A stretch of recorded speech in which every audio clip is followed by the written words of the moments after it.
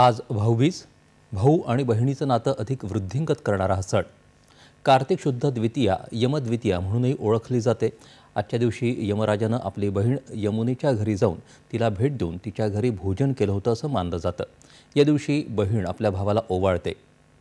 त्याआधी चंद्राच्या बीजेलाही ओवाळतात. चंद्रकोरीप्रमाणे भावाचं आयुष्य आणि समृद्धी वाढत जावी अशी प्रार्थना बहीण करत असते. या निमित्तानं परस्परांच्या भेटी होतात आनंदाची देवघेव होते.